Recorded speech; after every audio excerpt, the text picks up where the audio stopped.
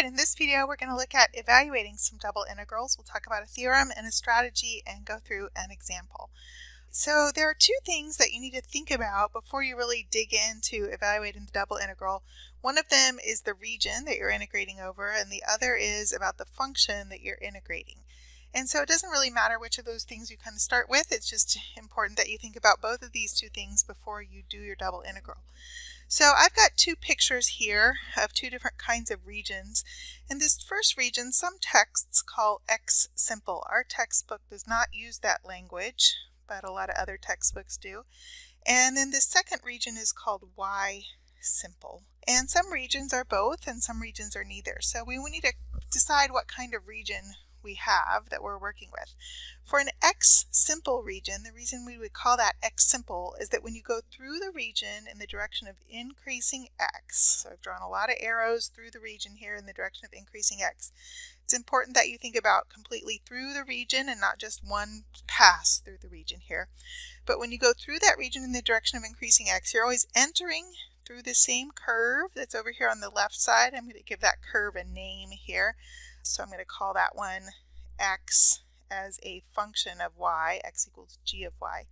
And then you're always exiting through the same curve. And so we'll also give that curve a name. So this region is called x simple because you always enter the region through x equals g of y and leave through x equals h of y. The next region is called y simple because when you go through that region in the direction of increasing y, and again, you want to think about the whole region, including the ends here, not just uh, one pass through the region, you're always entering through the same curve. So that would be y equals some function of x. I'll call that g of x and then you're leaving always on this one through the same curve. We'll call that curve that you're leaving through y equals h of x. Okay, so you need to classify what kind of region you have.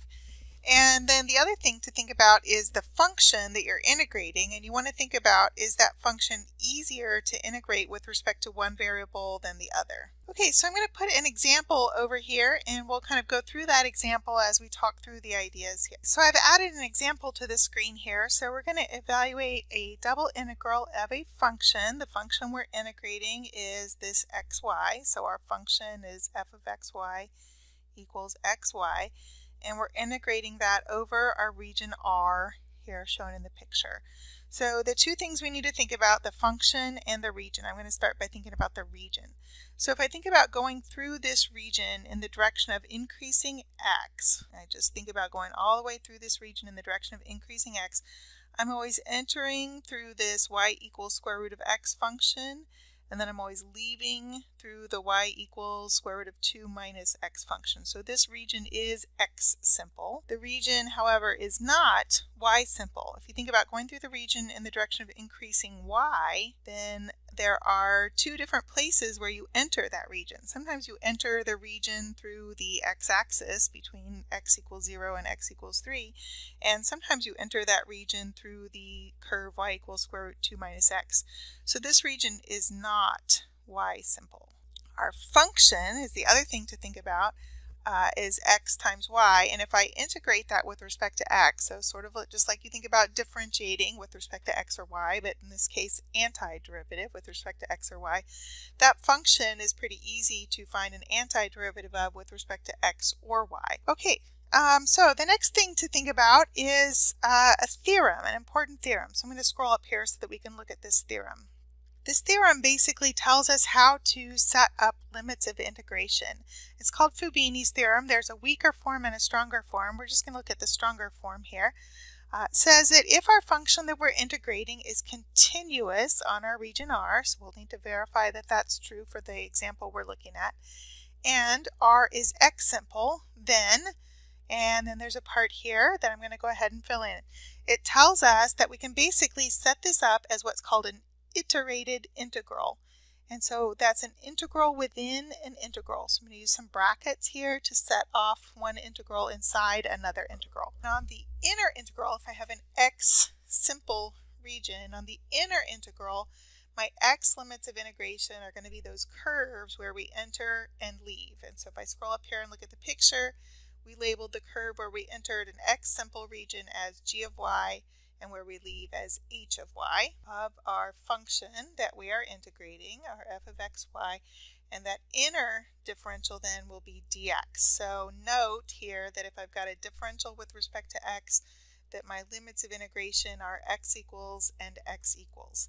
And this is an iterated integral because I have an integral within an integral here. And on the outer integral, I'll have y limits of integration, a dy differential, and y limits of integration. I'm going to go back up here to the picture and label what those y values would be. One way to think about that is if you have an x simple region and you go through the region in the direction of increasing x, and then you collapse that region back onto the y-axis. So you look at the shadow of that region back onto the y-axis and look at where that region is on the y-axis get this interval here on the y-axis. I'm going to go ahead and give those some labels and we'll call that lower y value y equals c and the upper y value y equals d. So our y limits of integration here would go from y equals c to y equals d. And again, the outer differential here is in terms of y, so these values here should be given in terms of y.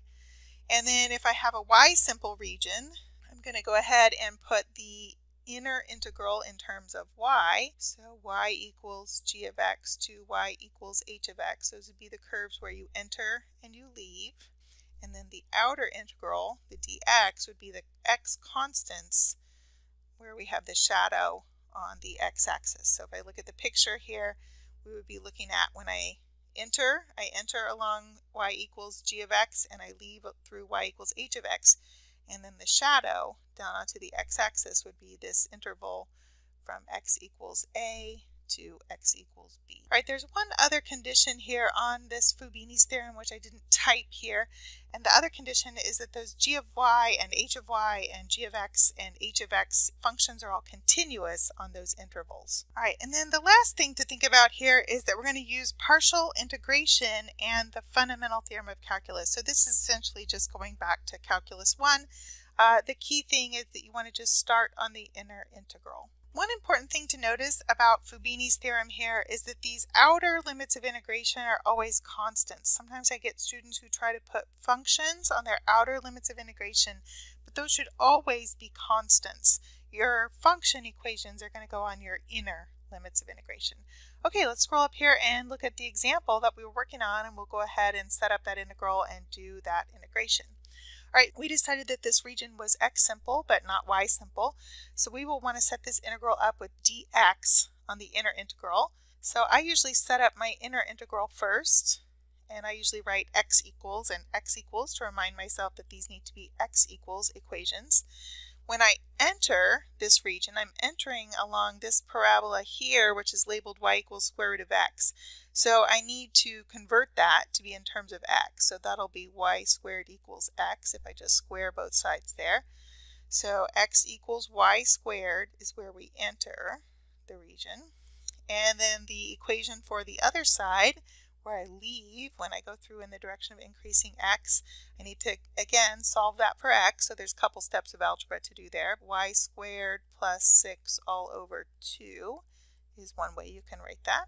My function that I'm integrating is xy. That function is continuous everywhere. And this inner integral is a dx integral because I have an x simple region.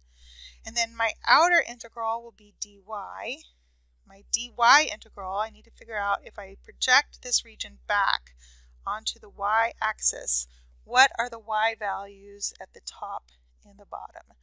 So if we go back here to the y-axis and look at that interval, from wherever this bottom part is at, that's at y equals 0, to whatever the y coordinate of this intersection point is. So you might have to do a little bit of algebra there to figure out that intersection point.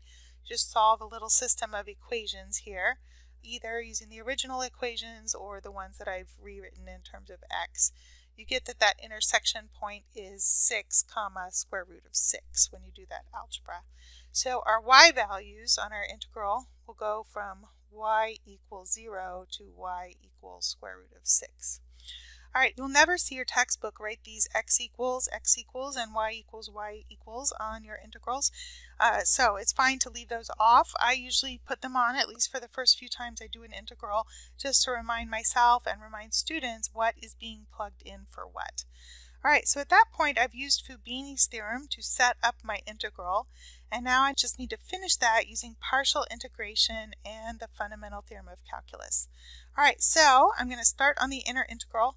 These outer integrals should not disappear and reappear. I'm just going to write 0 to square root of 6. I'm going to integrate this inner function with respect to x. I have dx here, so I'm going to integrate with respect to x. So I'm treating y as constant.